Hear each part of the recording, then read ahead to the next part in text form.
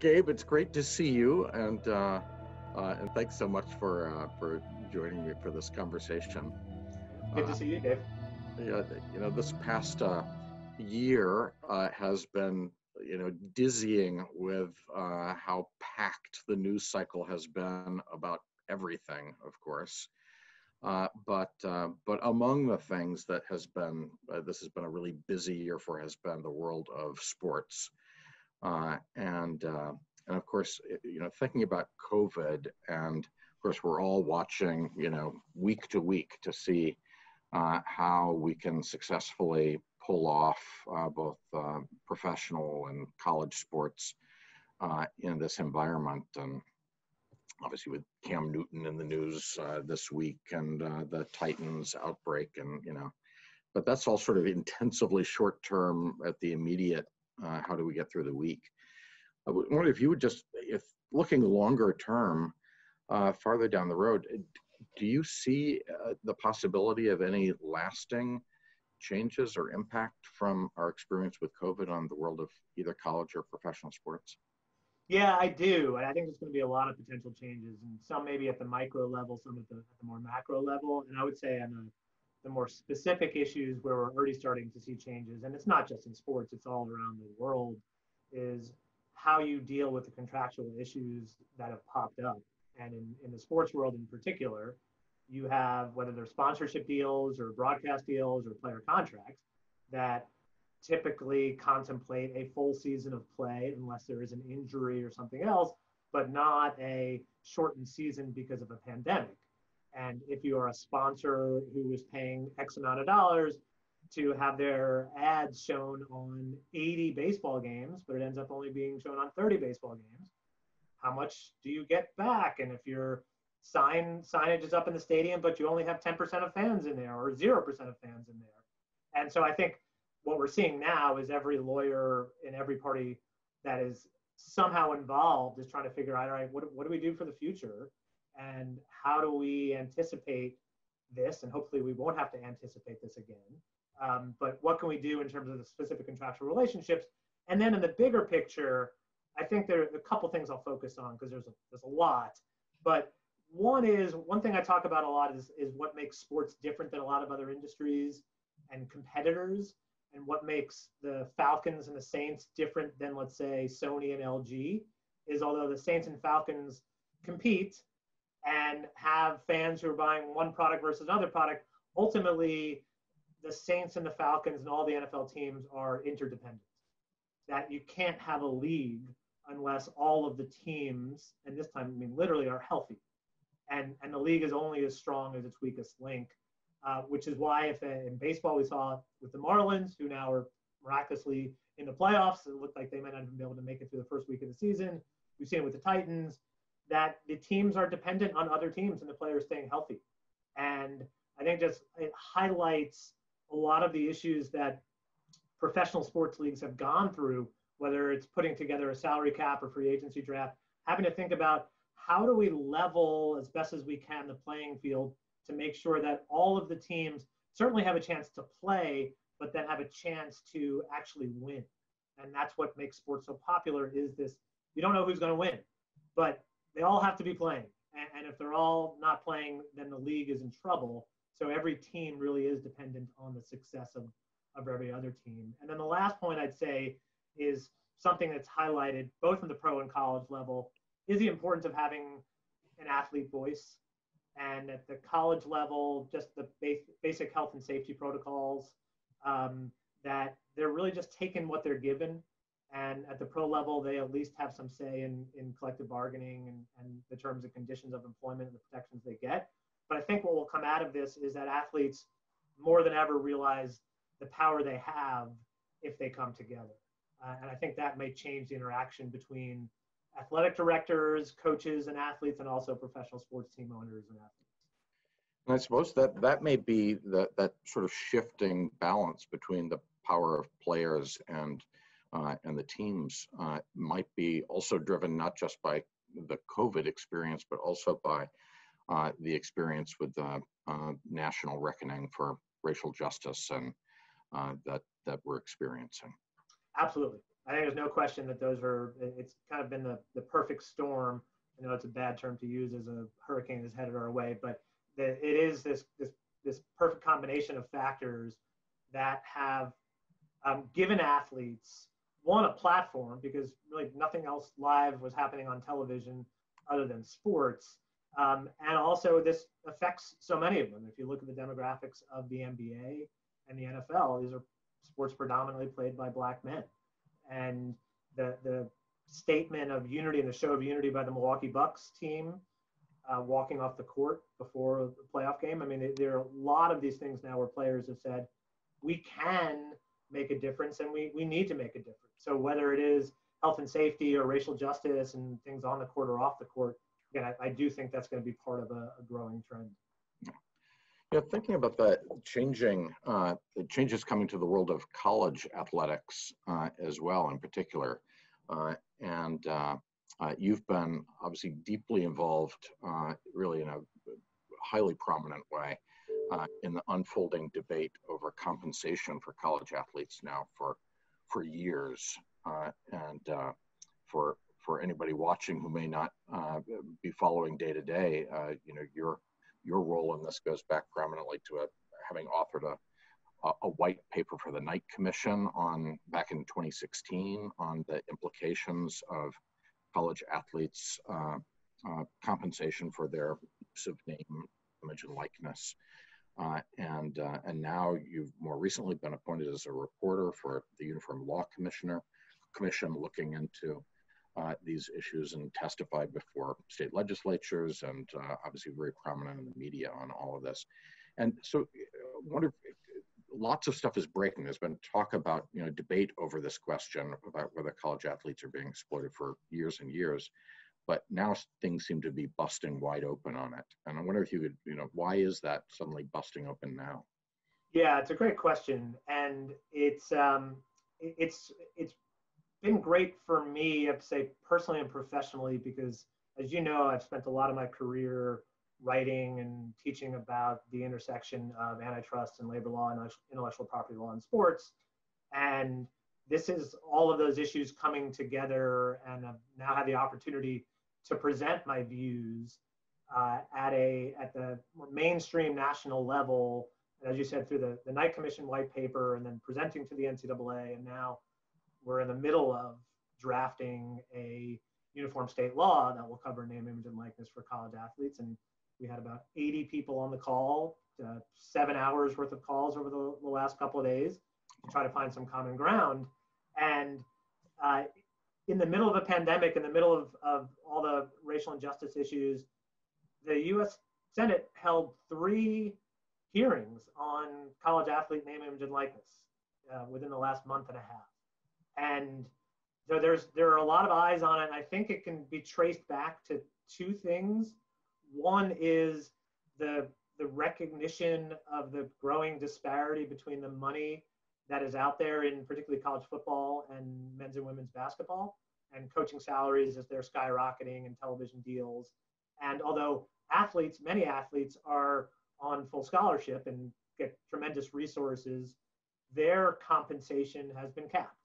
So while revenues are skyrocketing, the level that the athletes are getting has pretty much stayed the same.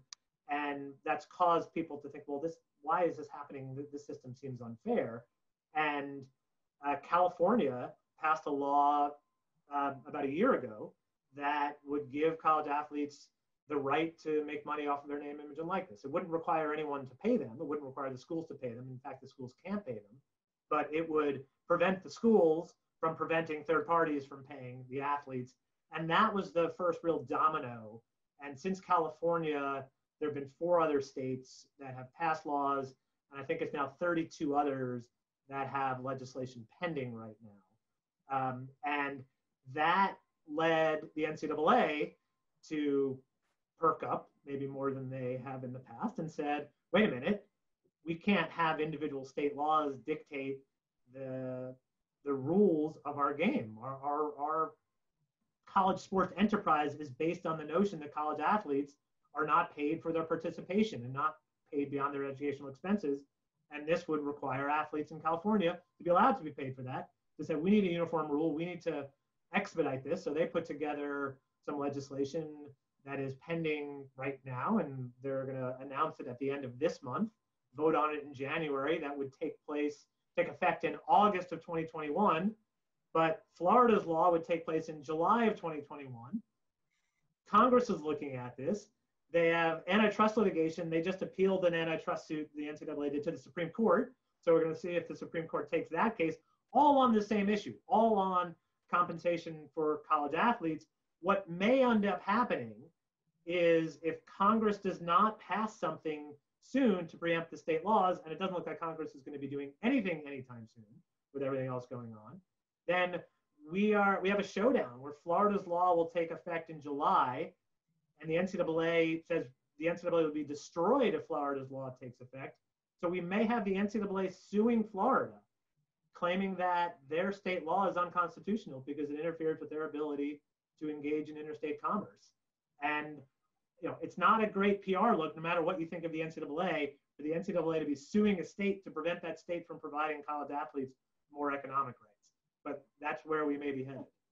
Wow. So this is uh, it's wild to think about the, the this kind of interstate competition uh, in this area because I presume, I mean, if uh, if the world opens up for compensation for college athletes, uh, more widely. Well, that gets back to the point you were making earlier about the shifting balance of power between athletes and the organizations for which they play, I presume. Uh, and then if some states are more aggressive in opening up, allowing for compensation than other states, I presume that that has to affect uh, athletes, uh, the, you know, at least the most talented athletes' uh, choices about where to go to school, because it would have a huge implication, I'm guessing, for uh, uh, financially. Uh, exactly. And so yeah. is that, do you think it will push to have national uniformity in, in order, because otherwise, I guess what you were saying before about professional teams needing parity to be competitive, uh, colleges need some parity, I suppose, to be competitive. They, yeah, no, they do. But it's interesting is that college sports, for the most part, they just they don't have parity. You, you can look in the the, the same schools are in the college football playoff almost every year. The same schools are in the Final Four, the Sweet 16 every year. Uh, and there's actually the competitive imbalance in college sports is part of, I think, what makes it so popular because the the most popular event in college sports overall, for the most part, is March Madness, and people love it because of the Cinderella story. And you can't have a Cinderella if everybody is the princess or the queen. I forget what the, but you you they, they without the unevenness, then there there are no upsets. Um, but they still do want some semblance of competitive balance. They still do want the teams to be on a relatively even playing field, not quite to the extent that the pros do. But you're right. I think it highlights one, the athlete empowerment issues, and two, that it all is interconnected. That that these teams, whether at the pro level or the college level, rely on each other, and you there are lots of benefits to having uniform rules. And without uniform rules to an extent, you can't have a game. We can't have the Tulane Houston game unless Tulane and Houston agree where to play and when to play and under what rules. Right? Sony and LG never have to reach those types of agreements. So there has to be some uniformity. The question is, how far out does that uniformity extend? And does it require uniform rules on name, image, and likeness? But to your recruiting question, it, that's not a hypothetical issue. When Governor DeSantis, Florida's governor, signed Florida's name, image, and likeness bill into law earlier this summer, he did it at the University of Miami new practice facility. The Miami athletic director introduced him. And when he was signing it, Governor DeSantis said, Hey, athletes, Clemson and Alabama are great schools, but you all should be coming to Florida because Florida will give you things that uh, South Carolina and Alabama cannot because of this new law. And if the governor of the state is going to be using the law as a recruiting pitch during this press conference, you can only imagine what coaches are going to be doing behind closed doors. We can, again, it's part of the fear where the NCAA says, well, wait a minute, we can't have individual state laws. You all have to play by the same rules. University of Florida may always be better than FIU in football, but we at least have to give everyone a chance to compete on the same plane. Yeah, well, incredibly important uh, things afoot, and I'm really proud of your leadership role in it. Uh, you know, turning uh, just to focus a bit more on Tulane for a moment, this has been a really big year uh, for you and for uh, your work on campus, uh, both here at the law school. We're extremely proud that in the past year you've been named to the nation's first endowed professorship dedicated to sports law, the Sher Garner Professorship in Sports Law. and uh, and then also, uh, more recently, uh, was the beneficiary of this amazingly landmark gift from the Hertz family to the Center for Sport. so you're among your many hats as associate provost for NCAA compliance uh, and as the director of our sports law program at the law school and co-founder and co-director of the Center for Sport at the university.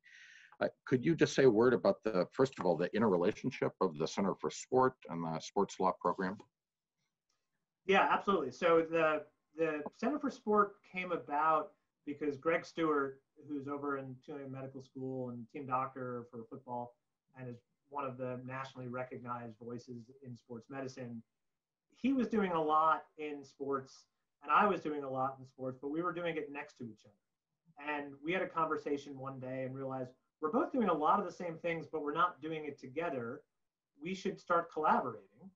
And that was the germ of the idea for the Center for Sport to put an umbrella over all of the different entities on campus that are studying and working on sports to make it a true interdisciplinary effort with a recognition that I think one, it could provide better research and, and services to the community and to professional and college sports uh, but also a better educational experience for our students.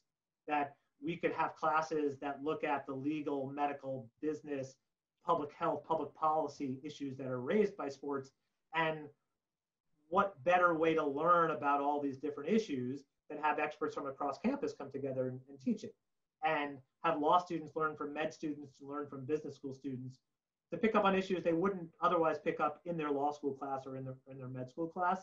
And I, for me, it was a perfect opportunity to help our students learn about sports in the event that they want to work in the sports industry, but frankly, for more students to learn through sports. Because just like most college athletes won't turn pro in their sport, most students won't get a job in sports, or many won't get a job in sports. So I want to prepare them to get a job in any industry. And this is a little bit of a spoon spoonful of sugar when I talk about the NFL draft and salary caps, students want to learn about it, want to learn more without realizing that they're learning about antitrust law and labor law. So it's a great teaching vehicle to, to teach subjects in a way that I think is, is particularly effective. So to have it happen at an interdisciplinary level um, has, has been great. And that's what the center has done is help bring the sports law program together with sports medicine. We're all still operating independently, but this is a way to help us collaborate more effectively. We're incredibly proud at the law school that the, the sports law program here at Tulane is the leading program uh, in the country and frankly the world, hands down. Uh, and uh, and excited about what you're developing on campus through the Center for Sport. What is uh, you know this infusion of you've done so much of this kind of on a shoestring and through your own uh, you know entrepreneurial spirit, but but now there's this infusion of resources coming through the generous support of alumni, uh, both the Sher and Garner families uh, and the Hertz family. Uh, and what will that mean for uh, your work? Yeah, it, it's it's going to mean a lot, and it is going to mean the opportunity to build on the programming we already have to enhance it, and then to add a lot of new programming. Um, and and, I, and as I tell people, I try to focus on three things for every component of the sports law program and that's to educate our students, help them network, and help them gain experience to ultimately get a job. And this will just enhance all of those opp- opportunities. And we have our baseball arbitration competition, football negotiation competition, basketball negotiation competition. We have something new every year. But as you said, it, it, it's a bit, a, a bit like running a marathon. When we're done each year, I'm exhausted and don't think I can ever do it again. I've never run a marathon, but I hear that's how people feel. Uh, but this will allow us to have more support to make sure we can do it every year and we can do it better every year.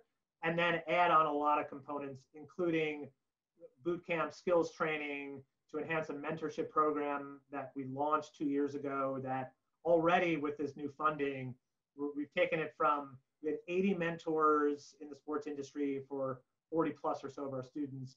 And I think this year we're going to have 160 mentors for our students. And we're going to have better ways of tracking their involvement, engaging them, and incorporating them throughout the program and, figuring out ways to enhance the online education, in-person education. Um, I, I, think the program has kind of gone, the sports law program, from zero to 40 or 50, and this is going to give us an opportunity to go to 100 or 120 or whatever counts as fast for a car these days. Well, it's incredibly exciting and uh, so grateful for their support, but also grateful for your leadership uh, of uh, all of these programs. It's uh, uh, yeah, and I want to let me take this opportunity also to thank Lee and Jim and Doug. They, they've been incredibly supportive throughout my career, and and this is just taking it to the next level. And and couldn't have done it without them, and and excited about the things I'll be able to do because of them. That's great. Uh, maybe just a closing thought uh, about the future, the exciting future and the work that you're doing. Uh, do you see, kind of looking over the horizon, uh, any exciting or important uh, uh, questions, issues in your field that are just sort of not just coming into view? Yeah, I, I think the, the one that's been out there, and it, again, the issues have been heightened because of the last six months, but player welfare issues, and you can put them in player health and safety issues, but I think it's broader than that because it's also social issues, not just um, physical issues. And that's where I think part of the beauty of working with Dr. Stewart and other folks on campus, where we can look at the athlete, look at the sport, not just from the legal perspective, but also the medical perspective, the, the psychological perspective, the social perspective. Um, but one of the aspects more specifically that's going to have a legal impact, and we're seeing this not just in sports, is privacy issues, and in particular with wearable technology. And that's a mm-hmm. hot button issue in lots of workplaces.